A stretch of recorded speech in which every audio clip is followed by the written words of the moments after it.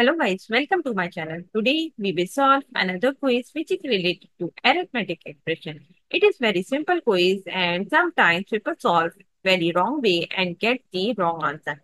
So here we have the four answer 81, 1, 90 and 18. So we have to see which answer is correct after solving using PAMDAS and BODMAS method. So before starting the video, please like and subscribe my channel and share with others so they can learn this type of quizzes from my channel. Now, let's recall what is BODMAS and PAMDAS rule. Basically, these rules are applied to solve any arithmetic expression and the rule says B for bracket and P is parenthesis. It means that if your expression contains any bracket or parenthesis, so you have to solve that part first in your expression. After that, you have to solve the exponent of power. After that, you have to go left to right in your expression and find out division and multiplication. If division is coming first, so you have to solve the division first. And if multiplication is coming first, so you have to solve the multiplication first. Similarly, for addition and subtraction, we have same rule. So we can solve addition first if it is coming first and we can solve subtraction first if it is coming first. So now let's move towards to solve the given expression. As you can see, um, we have uh, an expression which contains some brackets. So first we have to solve these type of brackets in our expression. So here we have two brackets. So one by one we will solve. First we will solve the first one which is equals to 15 plus 3 which is equals to 18. So we will write 18 and other things we will write as it is. And here we will give the reference. It's basically 15 plus 3 equals to 18. Now, move forward to solve other brackets. So here we have 18 divided by this one and 5 minus 3 equals to 2 and other things we will write as it is. So here we will write 5 minus 3 equals to 2.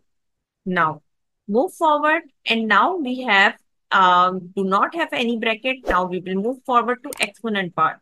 So here we have one exponent part which is 3 raised to power 2. So we will solve this part now. 18 and other things we will write as it is. So this part we will write as it is and 3 3s are 9. Basically 3 raised to power 2 equals to 9. So here we have 3 raised to power 2 equals to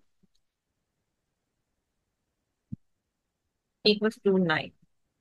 We can write 9 in this subscript like this.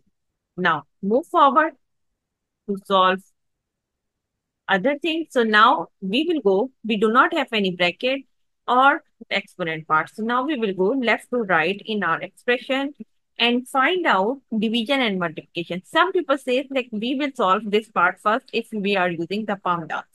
On some says that we will solve this part uh, if we are we are using BODMAS. But according to the rule, we do not solve like this way. We have to go left to right and find out which operation is coming. So here first we will solve this part because this is the coming first. So here 18 divided by 2 equals to 9 and multiply by 9, we will write as it is. So this is the trick where we um, can get the wrong answer if we will solve um, wrong way. So this is the right. And in the end, when we will multiply, so answer of this expression is 81.